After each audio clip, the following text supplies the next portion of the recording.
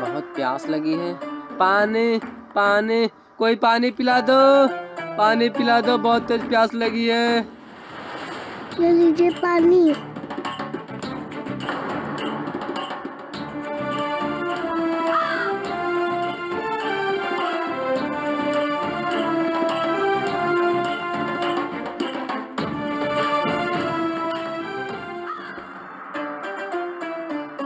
जहाँ पर आज सूचना मिली कि आपकी तबीयत खराब है? हाँ जंगल में टहलने गया था तभी से मेरी तबीयत खराब है। लगता है जहाँ पर ना आप पे किसी मनहूस का साया है। हाँ आज सुबह एक बच्चे ने पानी पिलाया था। मंत्री उस बच्चे को काल कोठी में डलवा दिया जाए।